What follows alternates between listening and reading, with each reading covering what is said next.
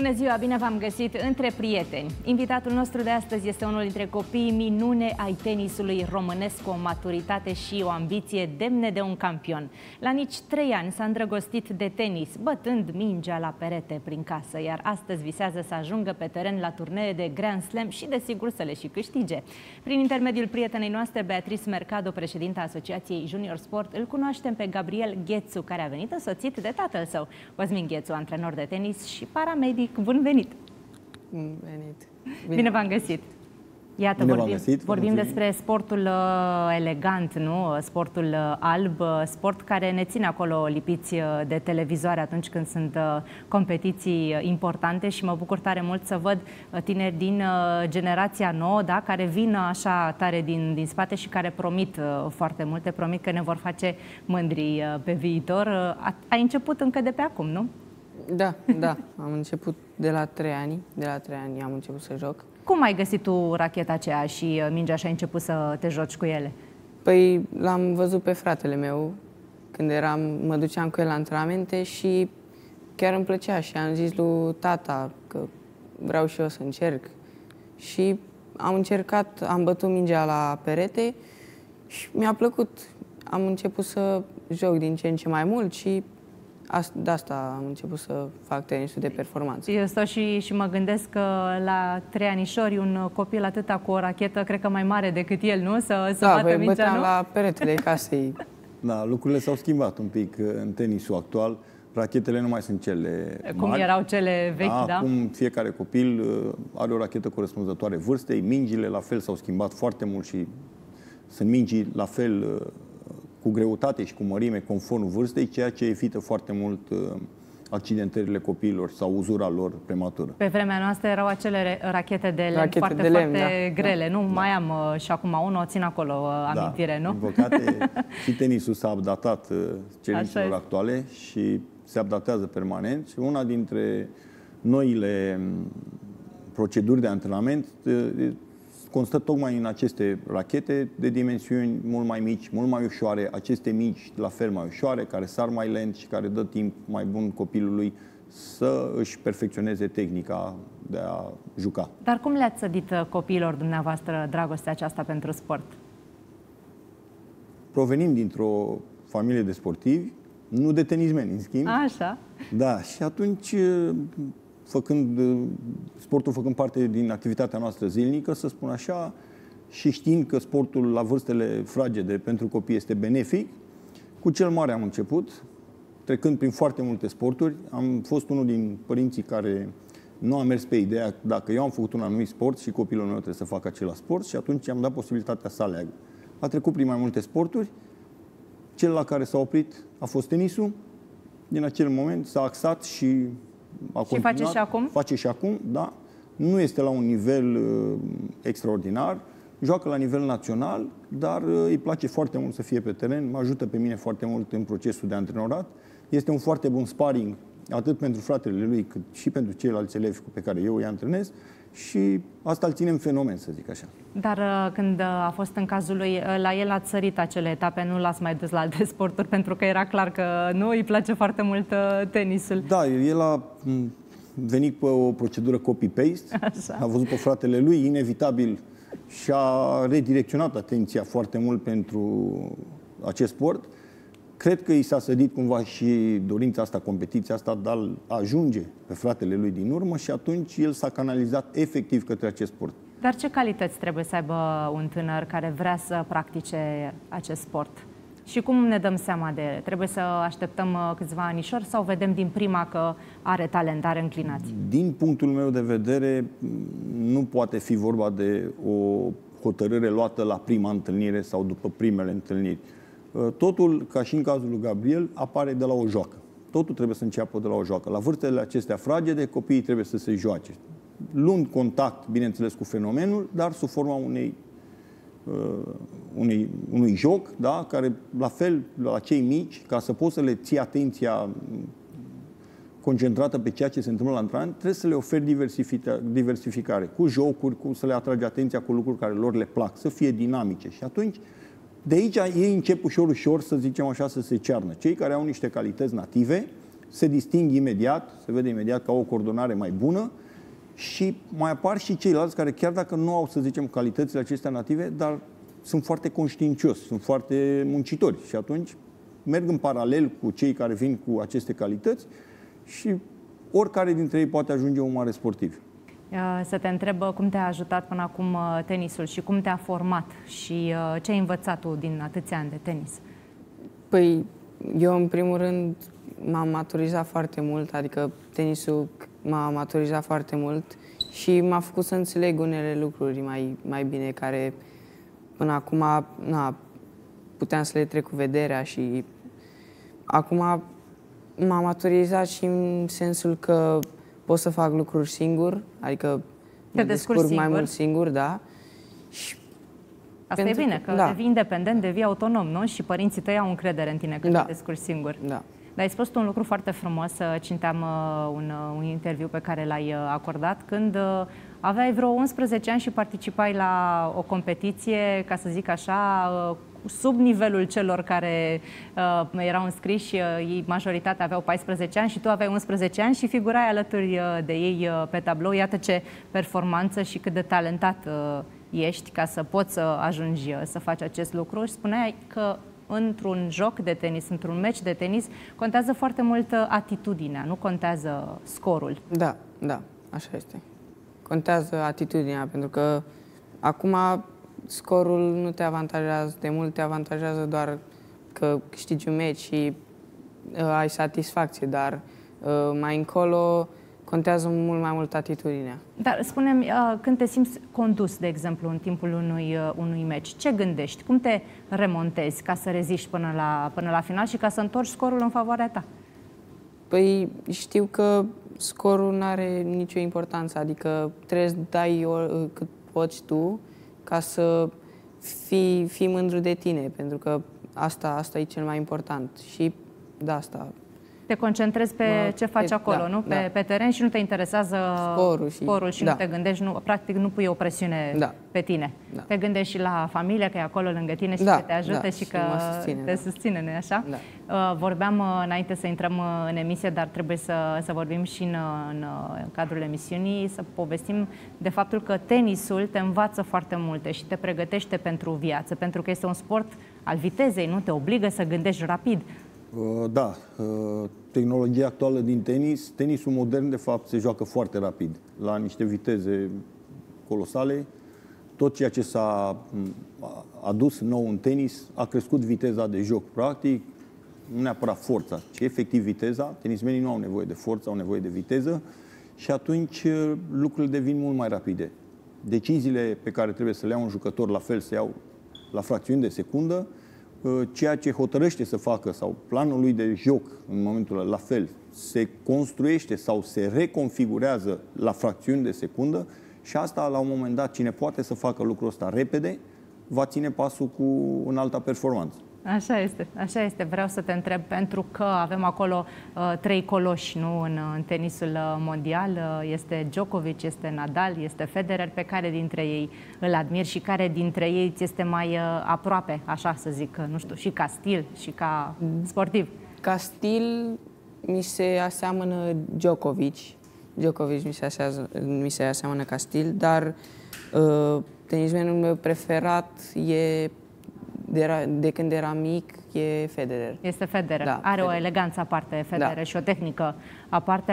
În momentul în care lovește, parcă nici uh, nu simți că face vreun uh, da, efort, efort, nu e așa? Da, are o da, naturalețe specifică, o are, el, la el este nativ, este exact ce vă spuneam și eu mai devreme, uh, opusul lui Nadal, care este muncă, așa foarte este, multă muncă. Da, da. El vine cu naturalețea asta, dar pe noi ceea ce ne uh, interesează foarte mult este modul lui de a se pregăti atâta timp, evitând foarte uh, mult accidentările. Este, cred că, tenismenul care are cele mai se puține... Se conservă foarte exact, mult, nu? tenismenul care are cele mai puține accidentări în carieră. Da, așa este. El a, s-a accidentat mai mult acum la 39 de ani, da, da, da. de ani. În ghilivele ce... spre bătrâneți. Da, ceea da. ce, până la urmă, este cumva... E firesc, nu? Firesc După datorită o carieră... vârstei și auzurii care apare Normal. în urma celor zeci de ani de competiții și de antrenament. Așa este. Visezi să-i, uh, să cunoști, uh, visezi să iată, să streci acolo în palmares uh, premiile câștigate și de ei la concursurile de Mare Slam? Da, chiar chiar visez să, să-i cunosc.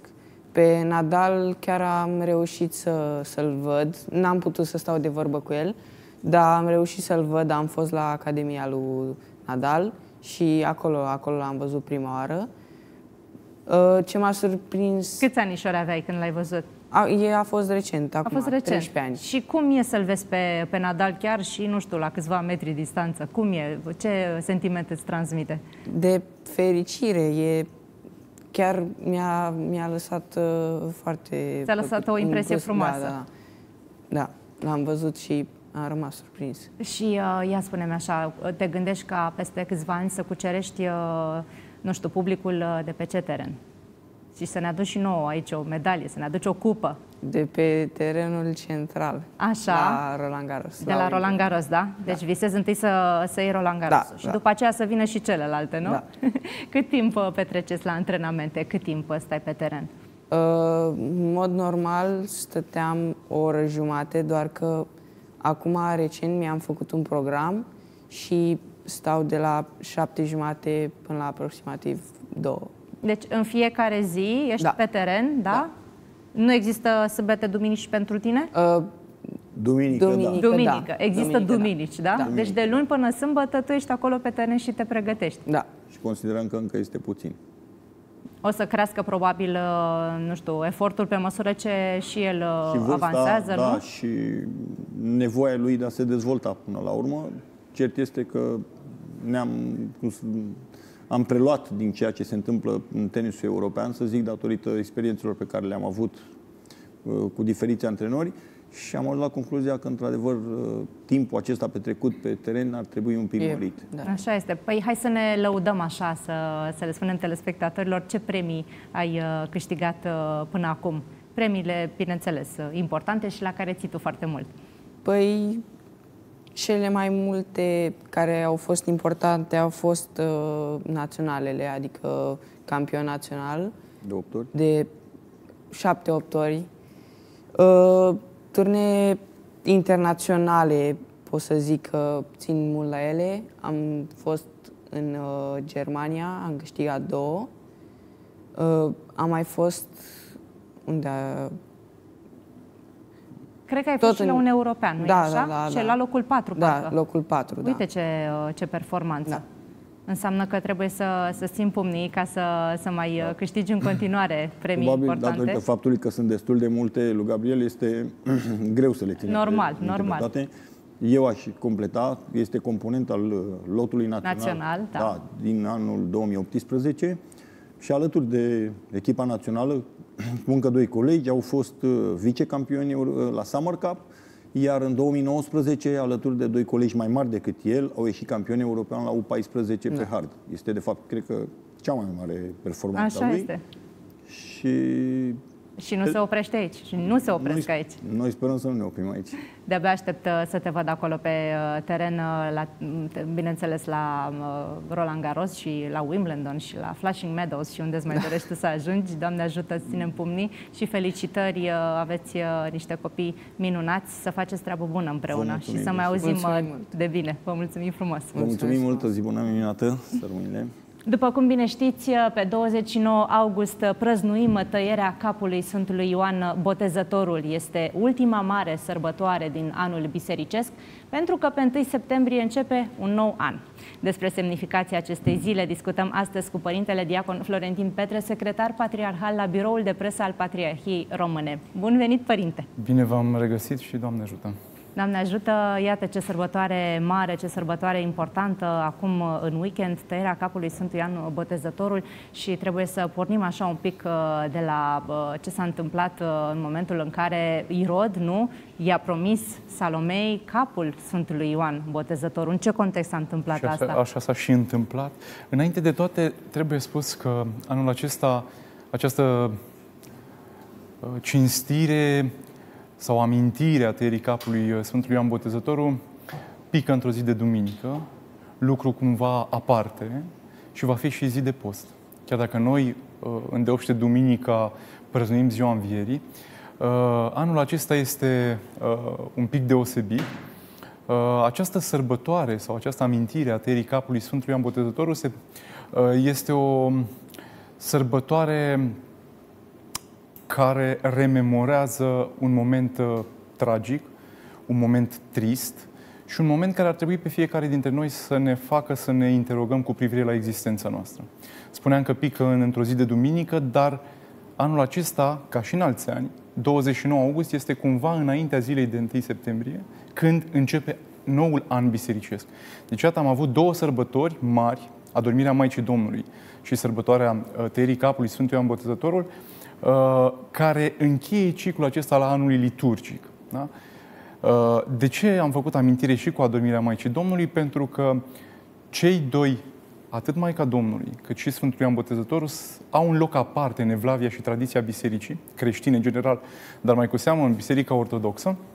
Și noi de obicei spunem că adormirea Maicii Domnului încheie anul sau ciclul anului liturgic. Uh, cred că mai corect ar fi să spunem că cele două sărbători, pentru că ne prezintă două exemple. Avem în iconografia Bisericii Ortodoxe Române acea frumoasă icoană numită Deisis, în care de-a dreapta și de-a stânga sunt așezați Maica Domnului și Sfântul Ioan Botezătorul. Iată, însuși Mântuitorul Hristos le oferă o cinste aparte uh, celor doi, bineînțeles, Maicii sale. Normal. Iar Sfântul Ioan Botezătorul pentru că este, pe de o parte, înainte mergătorul lui, cel care îl face cunoscut concetățenilor și, uh, să spunem, evreilor din vremea Mântuitorului Hristos, pe de o parte, dar, pe de altă parte, el este și un înainte um, mergător sau prefigurează prin moartea sa uh, moartea Mântuitorului Hristos. Pătimirile Mântuitorului Hristos, crucea, uh, toate cele ce se vor întâmpla. Uh, la începutul dialogului nostru m-ați întrebat cum s-au petrecut lucrurile. Uh, din punct de vedere istoric, uh, acest episod are loc undeva în anul 31 înainte, uh, după Hristos, uh, când uh, Irod Antipa, unul dintre uh, fiii lui uh, Irod cel Mare, cel care a ucis prunci în Betleem la nașterea Mântuitorului Hristos, uh, face o vizită la Roma, la împăratul Tiberiu, și pe drum se oprește în cetatea fratelui său Filip, unde uh, se îndrăgostește, să zicem așa, de soția fratelui său Irodiada, cea care și uh, promite că dacă își va lăsa soția, uh, ea va fi de acord să-l lase pe Filip și să devină soția lui Irod. Lucru care se și întâmplă. Și în acest context, cel care avea să-l mustre pe Irod pentru această uh, stare de desfrâu și pentru această stare de imoralitate totală este uh, Sfântul Ioan Botezătorul. Știm bine discursul uh, uh, Sfântul Ioan Botezătorul de-a lungul activității sale, pocăiți-vă că s-a apropiat împărăția cerurilor. Ori Irod numai dovadă de pocăință nu dădea.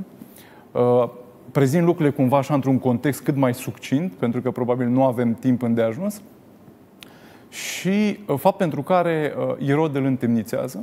Și știm bine cum s-au petrecut lucrurile în Evanghelia după Matei, în capitolul 14, sau în Evanghelia după Marcu, în capitolul 6, avem pe larg și în amănunt uh, prezentat, relatat acest episod al tăierii capului.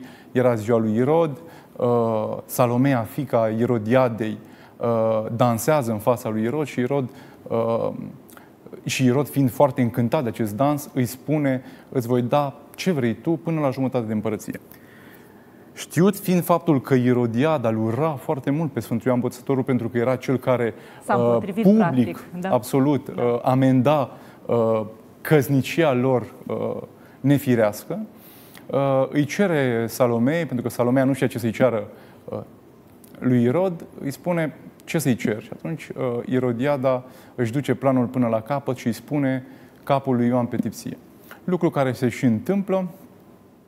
Ce trebuie să înțelegem din tot acest uh, uh, episod uh, tragic din istoria cumva precreștină, dar și creștină, pentru că dacă ne uităm cu atenție în Sfintele Scripturi, acest moment al uh, tăierii capului Sfântului Ioan Botezătorul este relatat de către, de către Sfinți Evangeliști în legătură cu Mântuitorul Hristos. Și uh, ar trebui să. Vedeți, de obicei, uh, noi sărbătorim uh, onomastica, da? patronul, sfântul pe care îl avem ca, ca ocrotitor, uh, de cele mai multe ori, ba aproape întotdeauna, uh, de ziua morții Sfântului. Da? Pentru că noi spunem că aceea este ziua nașterii Lui în Împărăția Lui Dumnezeu sau nașterii sale în Hristos.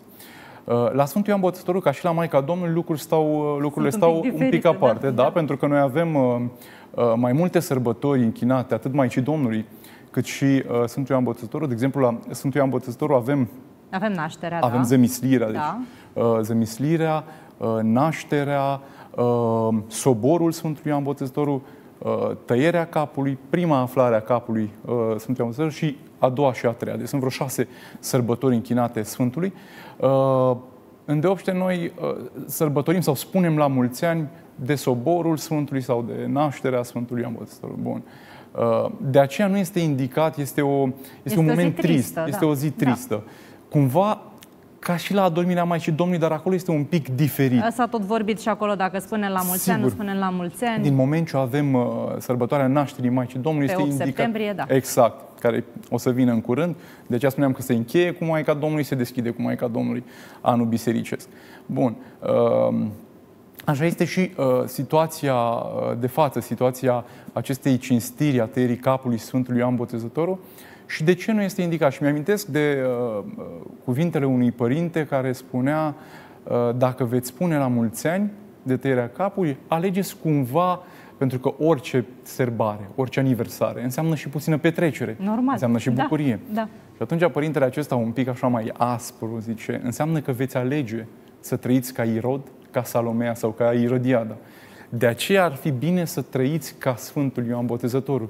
El este model de uh, postire, iată avem aici o icoană foarte frumoasă, care îl arată ca pe un ascet. Exact, asta, Evangeliștii- asta remarcam și eu acum că este reprezentat în haine foarte simple, slab, da? Exact, exact. Dacă ne uităm în Sfintele Scripturi, uh, ni se spune clar că era îmbrăcat în păr de cămilă, în haină de păr de cămilă, cu o cingătoare. uh, Era, este trăirea lui, viețuirea acestui mare sfânt, care este ultimul profet al Vechiului Testament și am putea spune primul uh, sfânt, dacă vreți, nou testamentar, pentru că este primul care își dă viața pentru Hristos. Uh, este uh, Sfântul care face legătura dintre cele două testamente. Și uh, el devine paradigmatic, devine model, pe de o parte, pentru tot ceea ce se va însemna curentul monahal, cune- curentul monastic.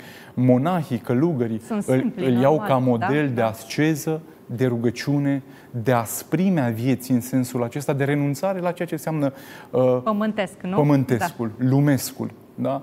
Uh, Dar, bineînțeles, el poate să devină model pentru noi, pentru noi toți. Uh, Felul mărturisirii sale, uh, trăirea sa în rugăciune neîncetată, Da. Smerenia, umilința, smerenia, da. postirea uh, și toate celelalte. Uh, De aceea cred că ar fi bine să ascultăm sfatul acestui părinte de a uh, cinsti sau de a rememora acest moment al tăierii capului Sfântului Ambăsătorul prin post și rugăciune și nu pică întâmplător anul acesta, zic eu, în uh, ultima duminică din anul bisericesc, pentru că, vedeți, atât adormirea Maicii Domnului, cât și sărbătoarea aceasta, uh, cinstirea aceasta a tăierii capului, ne duc cu gândul la ce? La viața de dincolo.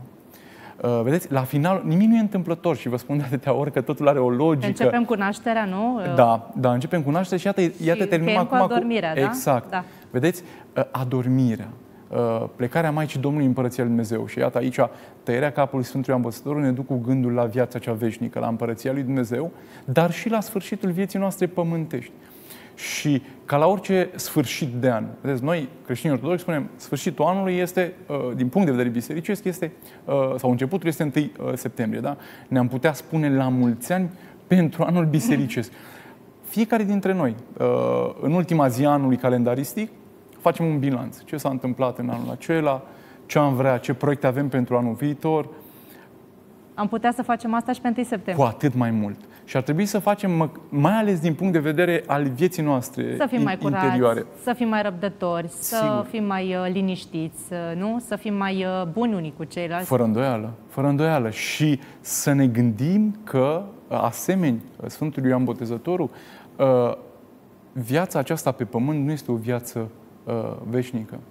Ea are un sfârșit ca o trecere în viața cea veșnică spre Împărăția lui Dumnezeu și uh, trebuie să conștientizăm că timpul nostru aici este un timp finit și că trebuie să... Poate fi un moment în care, făcând un bilanț, să avem niște proiecte, ca să folosim uh, uh, termenii uh, societății în care trăim, să avem niște proiecte pe termen scurt, termen mediu și termen lung cu viața noastră duhovnicească. Să încercăm ca în fiecare an, la final de an bisericesc și la final de an calendaristic, să schimbăm, să ne propunem să devenim, așa cum spuneți, mai buni, mai răbdători, într-o relație mai sănătoasă cu aproapele. Mai toleranți. Mai toleranți, fără doar și poate.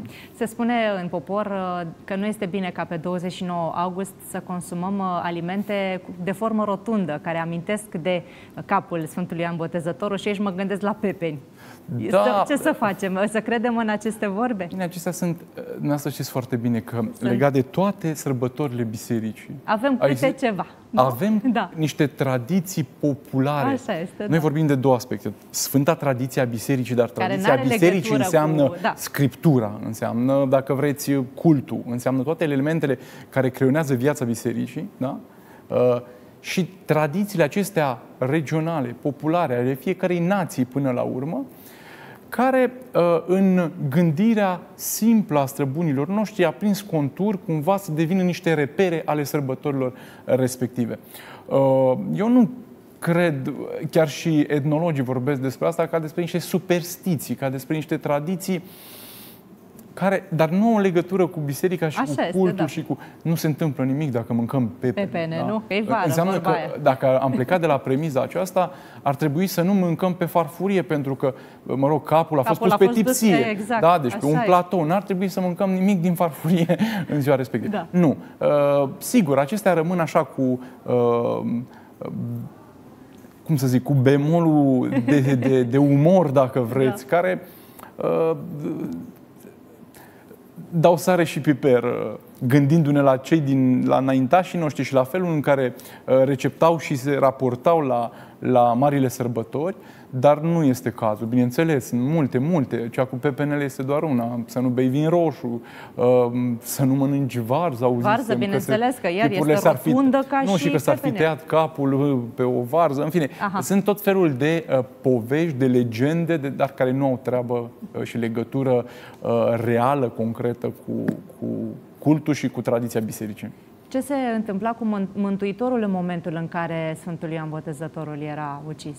Uh, aflăm chiar din, din Sfintele Scripturi, de fapt, momentul acesta al uh, uh relatării episodului uh, tăierii capului Sfântului Apostolului, aflăm de la Evanghelistul Marcu, uh, se întâmplă chiar în, uh, când Mântuitorul Hristos îi trimite pe cei 12 apostoli, după sărutarea, uh, săturarea pardon, celor 5.000. Am avut acum două duminici o Evanghelie în care s-a vorbit despre înmulțirea uh, pâinilor. De fapt, momentul acesta se petrece, dacă vreți, după o altă mare sărbătoare, uh, cea a schimbării la față. Da, Mântuitorul Hristos, pe 6 august, știm uh, Marea Sărbătoare, uh, lucrurile se întâmplă cronologic așa în Sfânta Scriptură, coboară de pe muntele Taborului, își iau ucenicii și uh, uh, îi trimite la, la uh, propovăduire, înmulțește, uh, de fapt nu îi trimite la propovăduire, în, în momentul acela, episodul scripturistic în care înmulțește uh, pâinea și peștii, după care avem momentul uh, umblării sare pe apă și încercarea credinței Sfântului Apostol Petru, după care duminica aceasta, deci uh, noi duminică vom avea două evanghelii care se citesc. Evanghelia cu vindecarea lunaticului, copil, un copil lunatic, uh, știința spune că uh, era bolnav de epilepsie, uh, și uh, momentul acesta scripturistic al, uh, al tăierii capului Sfântului Ioan Botezătorul.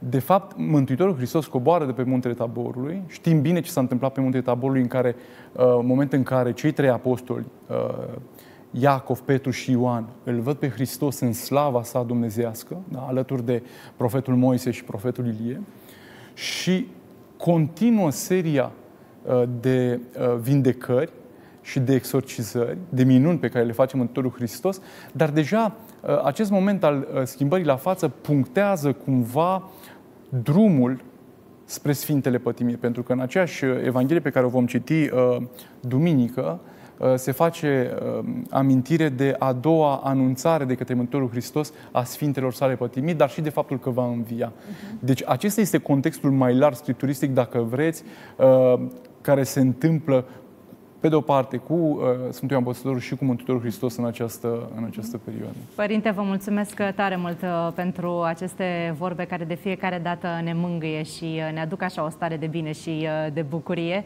și vă invit cu mare drag să ne mai vedem și cu alte ocazii și să ne mai povestiți și... așa Sigur. stilul dumneavoastră caracteristic. Vă mulțumesc din suflet și noi ne bucurăm că putem vorbi oamenilor despre și despre, pentru că oricum zilnic suntem invadați de tot Așa felul este. de știri, vedem ce se întâmplă atât în țară cât și în afara țării. Uh, cred că de cele mai ar fi bine de multe ori când avem uh, uh, astfel de momente să putem împărtăși de, și despre lucrurile importante pe care nu le considerăm foarte importante decât cumva mai spre finalul vieții noastre Așa și este. simțim că lucrurile aici se termină. Așa este, vă mulțumesc tare da. mult, părinte, mulțumesc. Se tot vorbește despre programarea neurolingvistică, un sistem de idei și concepte dezvoltat început uh, cu anii 70 pentru a sintetiza ceea ce înseamnă da, o înțelegere bă, pentru, nu știu, dezvoltarea noastră, o, o dezvoltare uh, mai bună, o, să avem grijă la ce țeluri atingem, bineînțeles. Ei, vreau să mergem acum la un specialist în această programare neurolingvistică, la doamna Gina Veveriță, care o să ne explice exact uh, ce să facem ca să ne atingem adevăratul uh, potențial și să atingem obiectivele la care visăm în cariere. Vă mulțumim frumos, sunteți în direct cu noi prin Skype. Mulțumesc pentru invitație. Mă bucur că pot să împărtășesc uh, uh, câteva idei despre ceea ce înseamnă programarea neurolingvistică și aș putea spune că motivul pentru care mă aflu aici în fața dumneavoastră acum după uh, 13 ani uh, uh, de când am început să fac cunoștință cu acest domeniu um, este pentru că viața mea s-a schimbat radical în momentul în care am implementat aceste tehnici în viața mea. Pentru că e vorba de programare neurolingvistică, uh, aș putea să vă spun că uh, unul dintre beneficiile cele mai mari pe care le obținem atunci când uh, începem să studiem și să implementăm aceste tehnici în viața noastră este că devenim din ce în ce mai conștienți, ne dezvoltăm gândirea critică și um, învățăm să selectăm în mod conștient uh, cei 134 de bits pe secundă de informație pe care mintea noastră conștientă le poate procesa. Pentru că, vedeți, suntem bombardați cu informație din toate, toate direcțiile și este foarte greu să mai faci o selecție la ora aceasta, iar internetul a accelerat modul în care noi suntem, um, cantitatea de informație care ajunge către noi. Un alt aspect important pe care vreau să vi-l uh, prezint asta, uh, în, uh, în această emisiune este că um, noi percepem lumea din jurul nostru pe baza programelor vechi instalate, pe baza tiparelor și pe baza experiențelor pe care le-am avut până în acest uh, moment.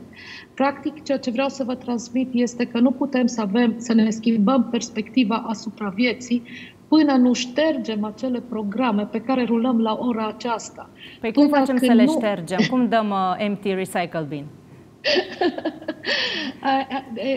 Aici este, chiar aceasta este frumusețea, pentru că în momentul în care um, reușești să conștientizezi faptul că um, ai aceste programe, ai făcut primul pas prin a le șterge. Apoi există o tehnică avansată a NLP-ului care se numește Timeline Therapy, care te, um, te susține să elimini aceste blocaje din trecut pentru că toate aceste programe sunt instalate la nivelul minții subconștiente. Și ideea e de a lucra cu amândouă în mod, uh, în mod integrat. Prin urmare, atunci când faci schimbări la nivelul minții subconștiente, la nivelul programelor uh, din mintea subconștientă, acea, acea se întâmplă, uh, schimbarea se întâmplă imediat. Da, este un proces de durată, trebuie să luăm, nu știu, parte la mai multe ședințe. În cât timp vedem schimbarea? Um, depinde de, de persoană. Tehnica funcționează foarte repede, este foarte simplă și foarte profundă. Eu recomand în permanență oamenilor să um, își însușească aceste tehnici, prefer să, să le uh, predau modul în care pot să folosească aceste tehnici decât să fac coaching, dar dacă sunt oameni care sunt interesați doar de coaching, asta se întâmplă. Practic, depinde. Uh, noi luăm o problemă pe care o, o, în coaching, mă refer acum, luăm o problemă pe care o discutăm cu clientul nostru înainte, lucrăm doar pe o singură problemă odată, în funcție de, mm, de gradul de intensitate pe care îl are problema, se întâmplă, lucrurile se pot întâmpla într-o ședință, două, poate chiar mai repede. Depinde de, în primul rând, depinde și de cât de tare își dorește persoana respectivă să aducă schimbări în viața sa.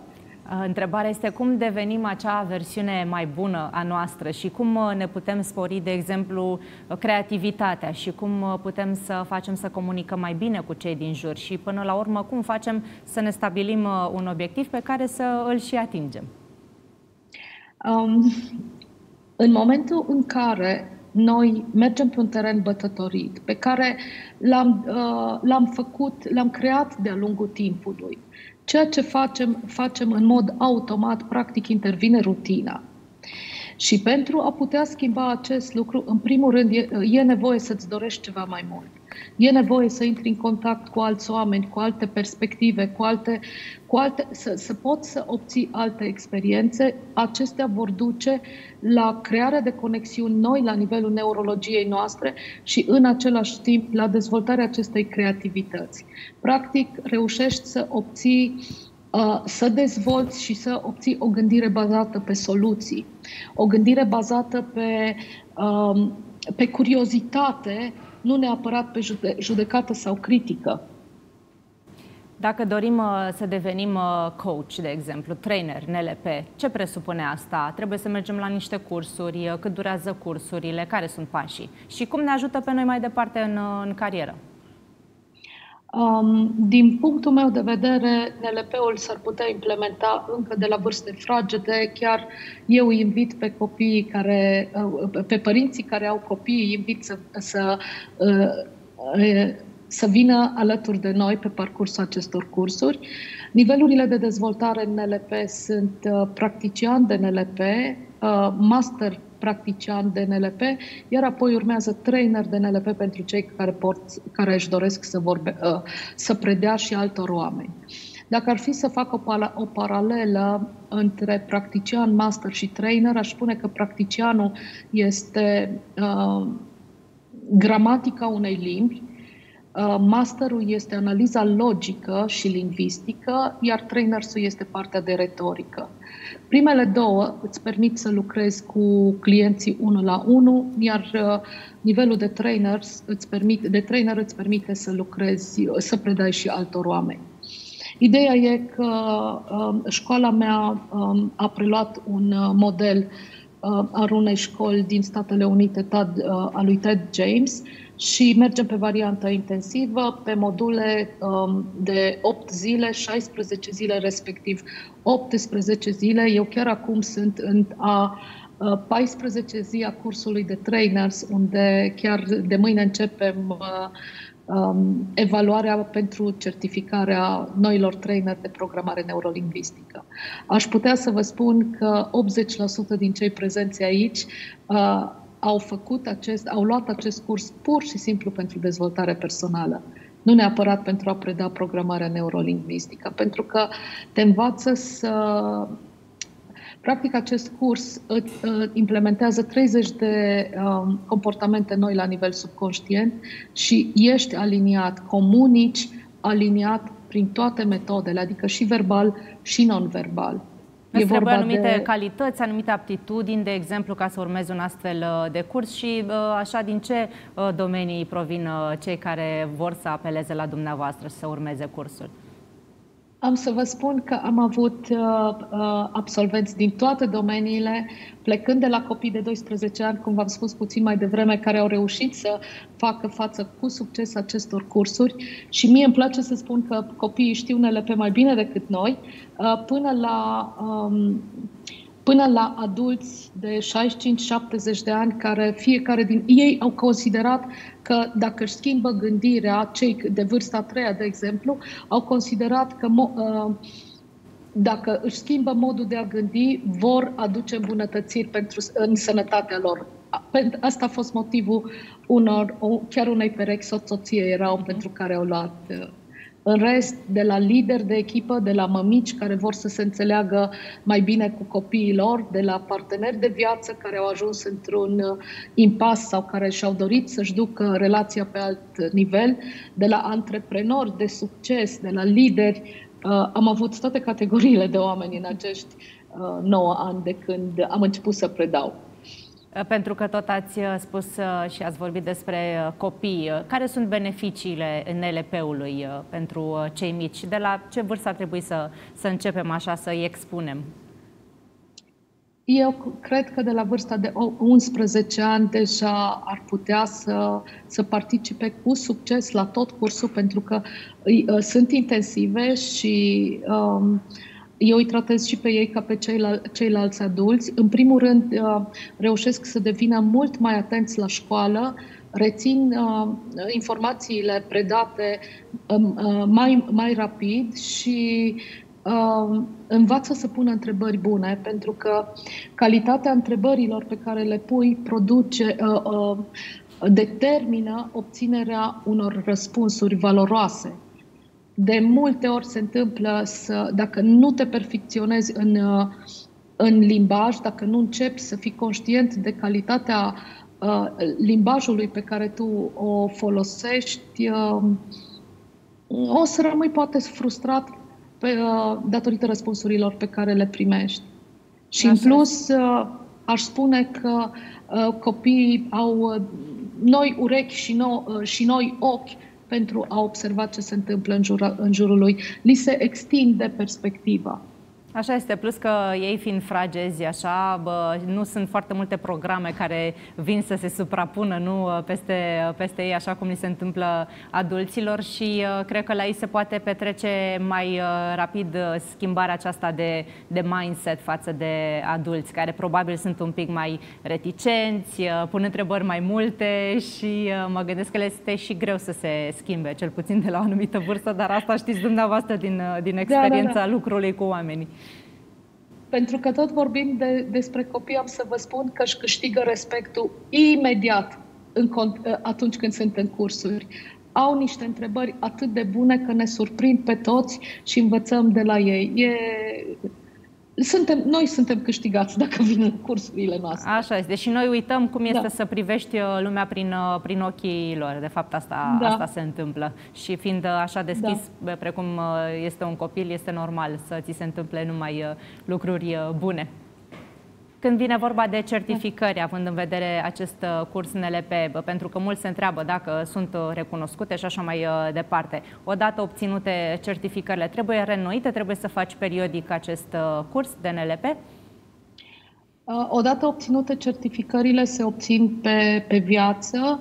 Um, eu am o, um, în cursurile pe care eu le susțin, am o regulă că odată ce ai plătit un curs, poți să vii să-l refaci ori de câte ori îți dorești, fără să-l mai plătești a doua oară, tocmai pentru a te ține, a te menține în contact cu informația și tocmai pentru și un alt motiv important este că odată ce ai produs schimbări, ai nevoie de un mediu care să te ajute să le, să le susții, să le menții.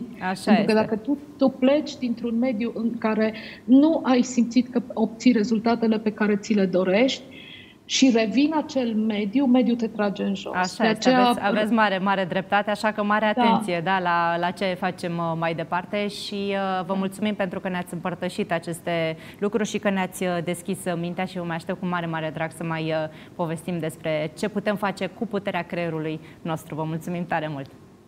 Mulțumesc foarte mult încă o dată! Iar acum, uh, pentru că se tot vorbește despre Afganistan, se vorbește foarte mult de criza din Afganistan, uh, vrem uh, să vă, să vă prezentăm un material Stellarium despre femeile afgane și iată, ele trebuie să respecte niște reguli. Nu sunt foarte ușor de respectat, dar priviți și, iată, luați aminte.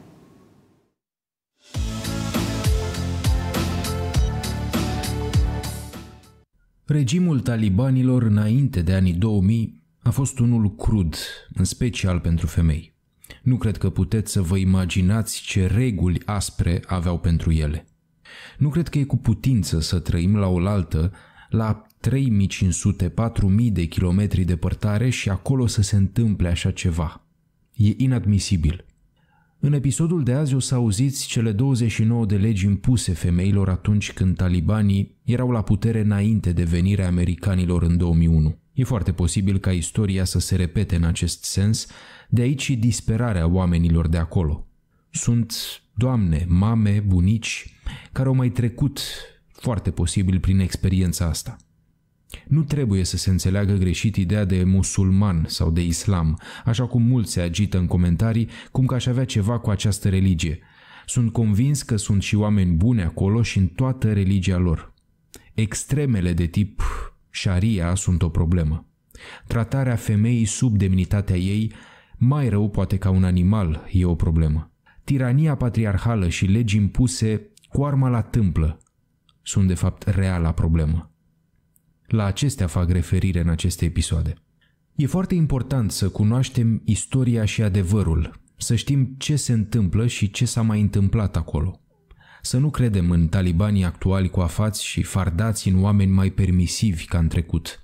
Nu va dura mult și vă garantez că nu va dura mult.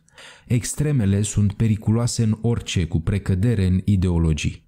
Iată așadar regulile impuse femeilor în regimul taliban din anii 90 care e foarte posibil să se repete. Poate așa vom înțelege disperarea celor de azi din Afganistan.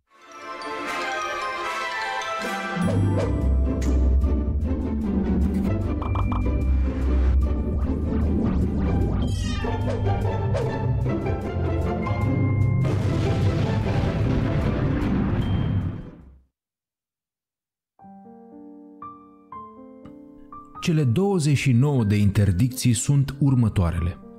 Femeilor li se interzice să muncească în afara casei. Doar câteva care sunt medici au dreptul să lucreze în unele spitale din Kabul. Femeilor le e interzisă în totalitate orice activitate în afara casei, cu excepția cazului în care sunt însoțite de mahram, cea mai apropiată rudă de sex masculin, fie că e tatăl, fratele sau soțul. Femeilor le e interzis să încheie orice fel de tranzacție comercială cu bărbații. Nu au voie să fie tratate de medici bărbați. Interdicția de a studia în școli, universități sau în orice altă instituție de învățământ. Talibanii au transformat școlile de fete în seminarii religioase. Femeile trebuie să poarte burca care să le acopere din cap până în picioare. Cele care nu se îmbracă conform regulilor talibane sau care nu sunt însoțite de mahram sunt biciuite. Femeile ale căror glezne pot fi văzute sunt biciuite iarăși în public. Femeile acuzate de relații extraconjugale sunt omorâte cu pietre în public. Le este interzis să se macheze, nu au voie nici să-și vopsească unghiile, în caz contrar, degetele le vor fi tăiate le e interzis să vorbească sau să dea mâna cu alți oameni în afară de mahram. Femeile nu au voie să râdă cu voce tare. Femeilor le e interzis să poarte tocuri înalte care fac zgomot în timpul mersului. Un bărbat nu trebuie să audă pașii unei femei. Nu au voie să meargă cu taxiul fără să fie însoțite de mahram. Femeilor le e interzisă prezența la radio, televiziune sau participarea la întruniri publice de orice fel e interzis ca femeile să facă sport sau să intre într-un centru sau club sportiv. Femeile nu au voie să meargă cu bicicleta sau motocicleta nici măcar dacă sunt însoțite de mahram. Le e interzis să poarte haine colorate. Este interzisă întrunirea femeilor în scopuri recreative. Femeile nu au voie să spele haine în râuri sau piețe publice denumirile străzilor sau piețelor publice care conțin cuvântul femeie vor fi schimbate. Femeile nu au voie să privească de la balcoanele apartamentelor sau caselor lor. Ferestrele trebuie să fie închise și opace pentru ca femeile să nu poată fi văzute din afara caselor lor. Croitorilor le e interzis să măsoare femeile și să le croiască haine. Accesul femeilor la toaletele publice e interzis, E interzis ca femeile și bărbații să călătorească în același grup, grupurile fiind doar de bărbați sau doar de femei. Femeile nu au voie să poarte pantaloni evazați, chiar dacă sunt purtați sub purca. E interzisă fotografierea femeilor. E interzisă tipărirea imaginilor cu femei în reviste și cărți sau afișarea de postere pe pereții caselor și ai magazinelor. Talibanii se prezintă ca fiind moderați chiar și după ce au cucerit capitala afgană, însă mulți observatori avertizează că această imagine e înșelătoare și că odată ce atenția internațională se va abate de la Afganistan, islamiștii își vor impune în mod radical ideile. Talibanii 2.0 sunt exact la fel ca versiunea anterioară, nu s-au schimbat, spune șeful celei mai mari companii media din Afganistan. Femeile și fetele vor trebui să trăiască din nou ca în anii 90, din păcate. Talibanii au controlat în mare parte Afganistanul din 96 până în 2001, când au fost îndepărtați de americani. Între timp există relatări potrivit cărora aceste transformări au deja loc în mai multe provincii în care talibanii au preluat controlul. În provincia Kandahar, luptătorii talibani au fi luat de la locul de muncă nouă angajate ale unei bănci impunându-le să stea acasă, posturile ocupate de ele putând fi preluate de rude de sex masculin. Talibanii au venit în moschei și au spus tuturor că luptătorii lor se vor căsători cu văduve și femei tinere. Acesta e și motivul pentru care multe au fugit din capitală. După sfârșitul anilor 70 și terminarea ocupației sovietice, drepturile femeilor au avut de suferit. Femeile din Afganistan se bucuraseră de o așa zisă epocă de glorie. În 1919 a fost introdus dreptul la vot pentru ele, la doar un an după introducerea acestuia în Regatul Unit, cu un an înainte de SUA. Perioada de sub conducerea lui Khan a fost una importantă în privința modernizării și liberalizării țării, cu un impact important asupra drepturilor femeii. Educația a fost un punct cheie pe agenda fostului rege. Dreptul la educație a continuat să figureze pe agenda următorilor conducători, iar din 1950 până în 51 primele femei au început să fie admise la Universitatea din Kabul. În anii următori a urmat o permisivitate în privința accesului la muncă, tot mai multor femei au primit dreptul de a ocupa funcții importante de către premierul Mohamed Khan, iar în 64 noua Constituție le-a garantat femeilor drepturi egale, inclusiv cel de a candida la funcții oficiale. Tot atunci a fost eliminată și obligativitatea la învăluire. Anii 70 și perioada comunismului din Afganistan au însemnat pentru femei o eră de înflorire, Femeile afgane s-au bucurat în acești ani de un acces nemai văzut la educație. Chiar și femeile din mediul rural au beneficiat de drepturi. Să sperăm că lucrurile se vor îndrepta acolo și că talibanii nu o să domine prea mult. Poate America se va răzgândi. La presiunea internațională și mai ales a Uniunii Europene ar fi nedrept să-i lase abandonați.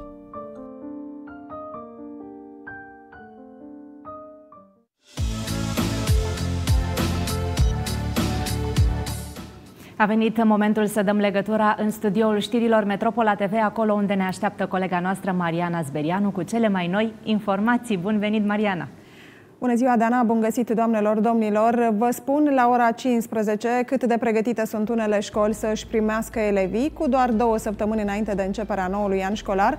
Ca și în anii trecuți, se pare că investițiile nu au fost anul acesta o prioritate. La doar câțiva kilometri de capitală, o echipă Metropola TV a găsit școli care încă au toaleta în curte, garduri rupte și multă mizerie. Ne îndreptăm atenția și înspre programul Litoralul pentru Toți, care va începe în doar câteva zile, dar vă spun și ce destinații puteți deja alege pentru vacanța de iarnă. Și nu în ultimul rând, vă aduc detalii despre cum se pregătesc concurentele pentru Miss Univers România 2021. Dana, știu deja că luni o vei avea invitată pe câștigătoarea ediției din acest an, dar sunt convinsă că tu știi mai multe despre acest subiect și ne poți da uh, detalii nu e așa? Așa este, așa este și eu de-abia aștept să o cunoaștem pe cea care va deveni Miss Universe România și ne va reprezenta la gală acolo în Israel, dar povestim uh, despre asta mai multe. Vă las cu o scurtă pauză și cu știrile Metropola TV la ora 15.